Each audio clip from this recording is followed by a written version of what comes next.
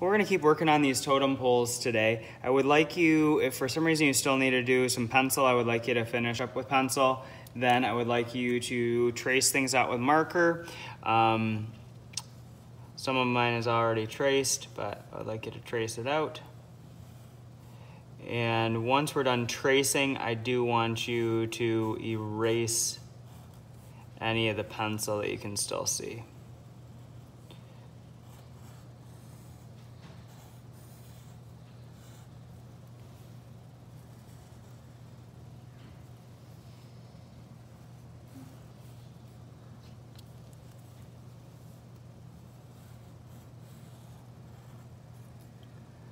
So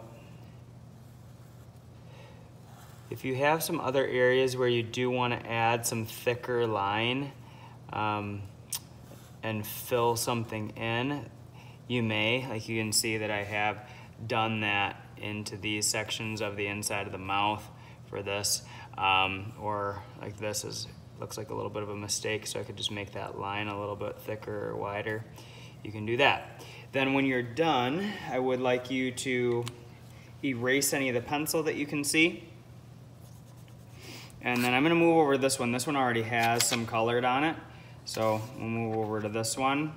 And with the coloring, I am gonna really connect to all the things that I've practiced this year with um, tracing with one color, filling with another, doing some shading and mixing. Um, I will try to remember to give you a white pencil. This white colored pencil works really nice for um, details like the edges of the eyes. Um, you can see that I'm working on doing some of the teeth. So um, since those things are so small, it would be nice for you to have a, a white pencil to be able to fill those spaces in and not cover up the marker line, okay? Now, please don't drop this on the floor. Um, it could roll off the table, so just make sure that you put it in a good spot towards the middle of your table so it doesn't fall on the floor.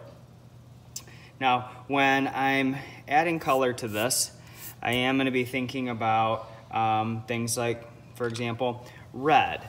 Red is something that I could trace with and then I could fill it with pink because red is just like pink and I can take those two colors and put them together.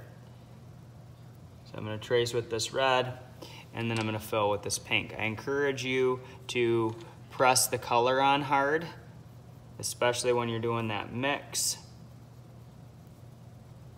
so it creates a nice blend.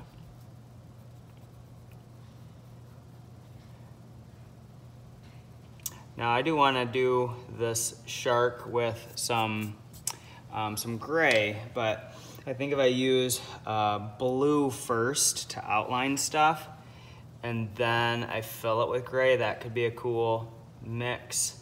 So gray could work with some different things. So you can see that I'm outlining, outlining these shapes.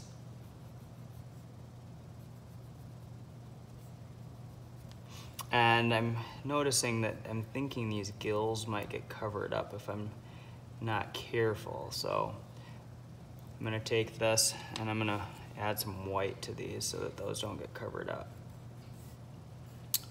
As well, I'm thinking that if it's a new shape, it's gonna be a new color. So I don't want to color on these eyes because those are a new shape, so those are gonna be a new color. So if I trace with this, now blue could go with green, blue could go with purple, and in this example, I'm gonna do blue with my gray. So I'm tracing all those shapes pressing it on hard. I'll fill it in just a little more lightly so that it will help blend with that gray. I missed that area of the mouth right there, so fill that in.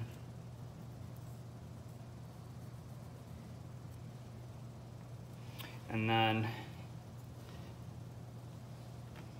I'll take my gray and we'll mix it. Now I've got kind of this fun blue-gray color for my shark, like it's swimming underwater or something. So you can see I'm trying to fill up those spaces.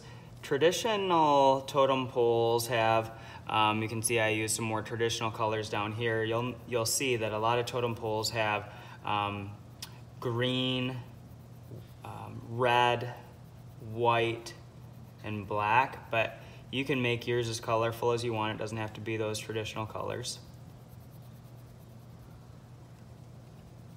You can see that this does have a lot of detail, so it's going to take me a while to color it. That's one of the reasons that I colored this bottom one already before I made the video, so it wouldn't take quite as long.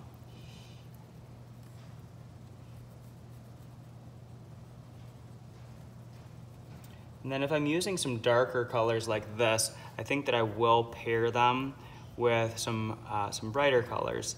So that's why I use the red and the pink for the mouth, because if I use a darker color, um, like blue or purple or black, it might not stand out as much. So we'll finish filling that in, and then maybe for the um, space around these eyes, I could use some orange, because that would be nice and bright and mix the orange maybe with some yellow. If it's a really tiny shape, I suppose that you don't have to trace with one and fill with another. Um, but I would like you to do as much mixing as possible. Now this is a new shape, so that's gonna be a new color. That's why I made that white. And so now I think that I'm gonna do a little bit of purple on the inside and it's almost taken up that whole shape. So then I might mix it with a little bit of this lighter purple. And then I think that I do like this up here, so I'm gonna do these shapes purple, and then I'm gonna fill them with pink. And I've got one, well, I might as well carry that pattern down here. Let's use that as well down in this area. And then I'm thinking, well, if I take something that I've already used, like maybe um, this orange and yellow and bring that up here, maybe it would be good to do a little bit of orange and then I'll fill it with red since I haven't done that one, but it could warm up those colors a little bit and make it kind of balance out what I already have. So we'll do that with uh, a little bit of this red. Then when this one's done and that whole shape is colored carefully, then I would work up to my next shape, okay? So right now, just to point out some examples, um, I do, it is okay to do two different colors of green. So I've got a dark green and a light green. This one is purple and red. Um, this one is dark blue and light blue. This one is pink and orange. Um, this one is red and pink. And feel free to leave the whites um, white on their own. You just want to make sure you're brushing it off and cleaning it off as you go so that you don't, um, the white doesn't smear into your color. I will finish coloring these and we're gonna cut out these edges and glue it to another paper to create a background for your totem pole um, in the coming weeks. So let's do a good job working on these and using the color wheel to mix and if it's a new shape, please make it a new color.